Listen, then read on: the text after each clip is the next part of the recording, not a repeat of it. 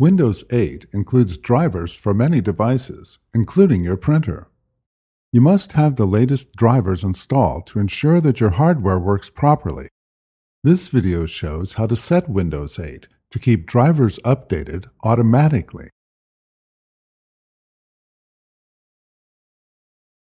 In this video, we will use a mouse to select items.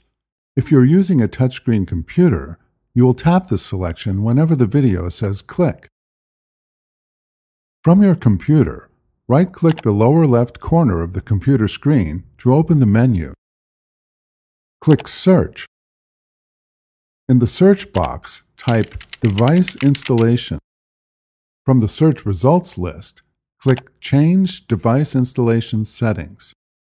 From the Device Installation Settings screen, click Yes, do this automatically. Click Save Changes. Windows will now automatically download and install any new drivers for your computer hardware. You can find additional helpful videos at hp.com forward slash support videos and on our YouTube channel, youtube.com forward slash HP Printer Support.